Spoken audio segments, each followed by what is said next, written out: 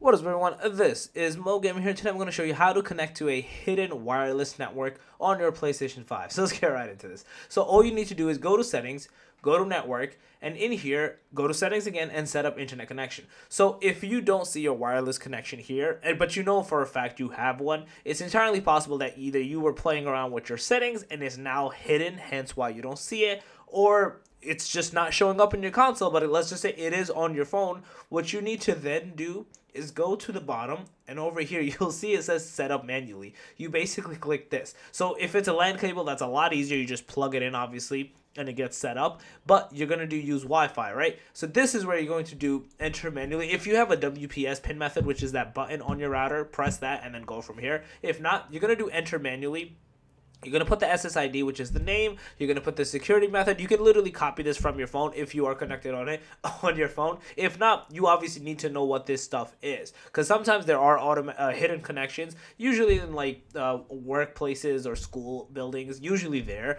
I don't know how you got your PS5 there, but maybe you did. Maybe you know snuck it in and you're trying to play it. But the main ones are the SSID, the security method, and then uh, once you put the security method, it'll ask for a password. You need to put this password in, and then everything else can stay automatic. You press done, you should be good to go, and you will not have this error or this issue persist any longer. So yeah, that's basically it. If you guys like the video, please smash the up. Guys, the channel, make sure to subscribe, click that notification bell, and that